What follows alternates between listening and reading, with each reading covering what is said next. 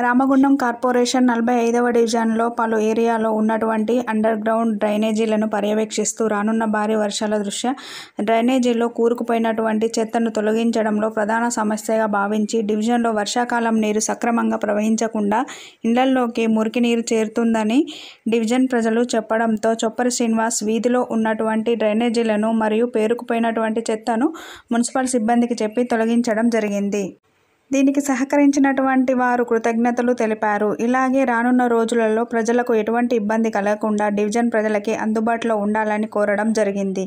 ఈ కార్యక్రమంలో నలభై ఐదవ డివిజన్ బీసీసీఎల్ అధ్యక్షులు చొప్పరి శ్రీనివాస్తో గంధం సాగర్ వడ్లూరి దేవేందర్ మాదాసు తిరుపతి మామిడాల శ్రీనివాస్ వినుకొండ రామరెడ్డి వకులాభరణం కిరణ్ తాళం లక్ష్మణ్ కారునాథం అంజయ్య మరియు డివిజన్ ప్రజలు పాల్గొన్నారు.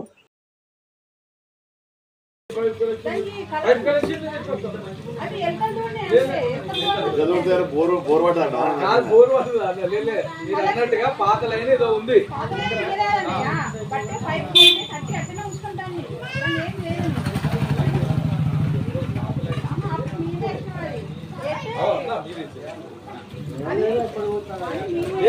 రానే కాదు. మీరు ఆ ఎర్రపై ఎర్రపై